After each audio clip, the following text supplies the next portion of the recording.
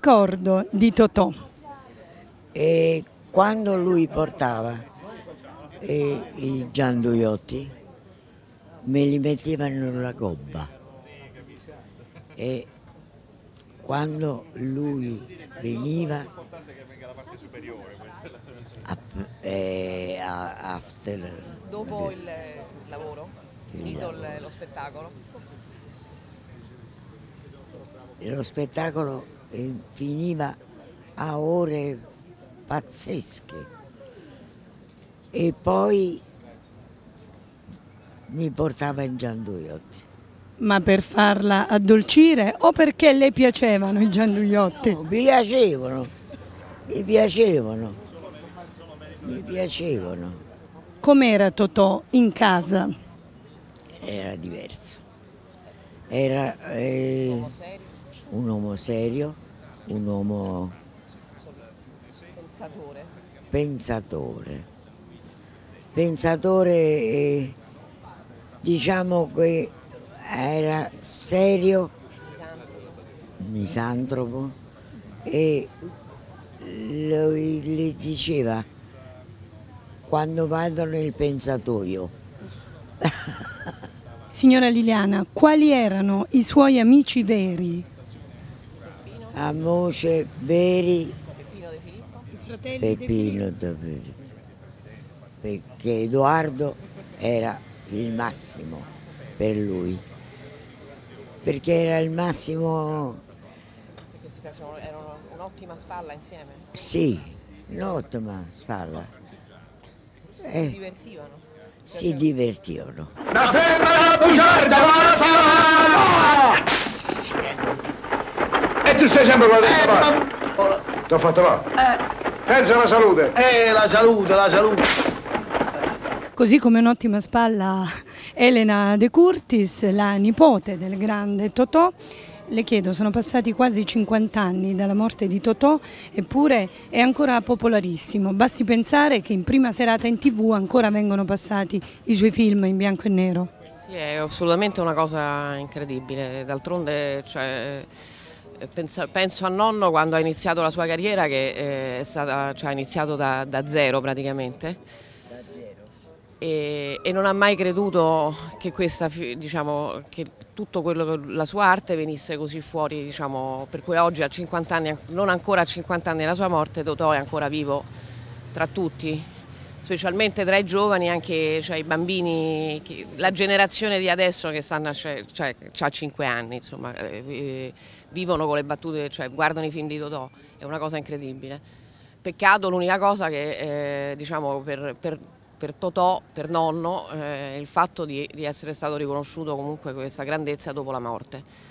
Eh, comunque noi parliamo di film, eh, però la- l'altra cosa bellissima di, di Antonio De Curtis è, è tutto il lato che forse è un po' meno conosciu- conosciuto, come poeta, come eh, compositore di canzone e anche come fi- filosofo, perché cioè, ci sono dei, dei pensieri estremamente incredibili di nonno, che ecco, come dice mamma, andava al pensatoio e pensava e, e bu- e buttava giù delle frasi diciamo, su dei suoi pensieri.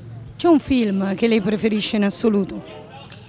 Allora, in questo mi viene da pensare alla banda degli onesti, perché diciamo, in un momento di, di- diciamo, di- di mancanza di, di soldi eh, cioè, hanno creato, cioè, volevano stampare i soldi falsi, però tale era l'onestà interna che poi questi, questi soldi non sono mai stati spacciati, anzi andavano eh, a comprare, facevano finta ognuno dell'altro di aver smerciato questa, di questa mille lire false, ma non l'hanno poi alla fine nessuno ha avuto mai il coraggio di, di- di- di smerciare questa mille lire falsa, per cui è, è- è inc- è incredibile questa, questa cosa. Signora Liliana, per chi fu scritta Mala Femmina? Per mia madre. Si diceva per la Pampanini? Si diceva, Non è vero. non è vero, Ma Totò piaceva tanto alle donne, perché? perché si sapeva fare. E lui piaceva alle donne, Adulava le donne.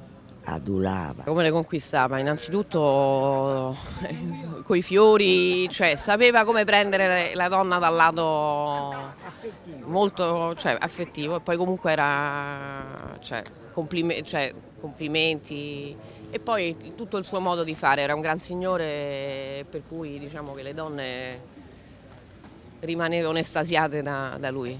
Mi ricordo era a Formia, giravo alcune scene di un film e ho preso un pacchetto di sigarette, scrissi i versi, poi li feci sentire al mio autista, al quale non gli piacquero, non capì niente.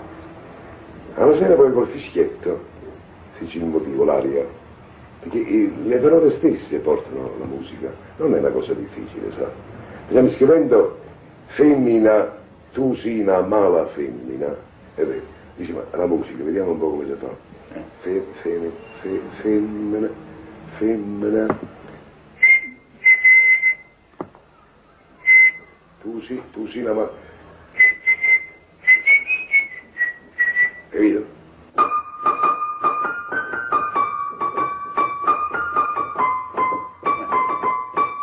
Capito? E senza cantarla mai, eh? non è che la dobbiamo cantare. Eh, Da cantare io, no? Io E te la voce.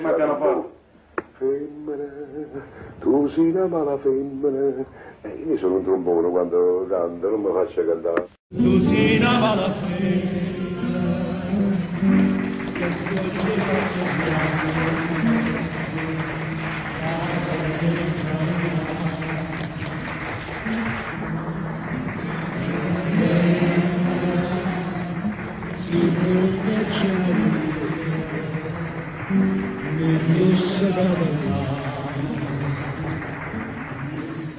Voi siete qui per questo premio che è fuori, fuori dal tempo, Eh sì. grande soddisfazione per la città di Ostuni avervi ospitato. Eh sì, il sindaco è una persona va- validissima. Validissima perché ha costruito questo, questo premio e voglio dire è bravissimo, bravissimo.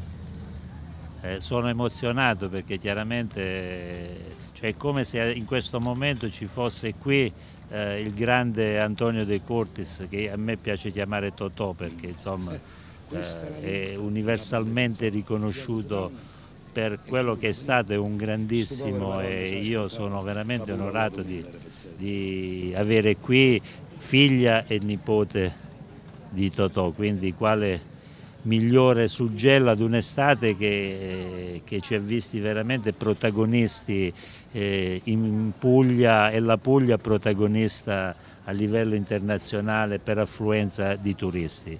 È un evento brillante, è un evento culturale perché Totò è, è stato un personaggio a tutto tondo, non è stato solo un attore, è stato un artista, è stato un poeta, eh, diciamo chi meglio di lui può incarnare una figura fuori dal tempo, così come la nostra città. Come chiuderebbe Totò questa intervista? Con una battuta. con una battuta. Eh, siamo uomini o caporali.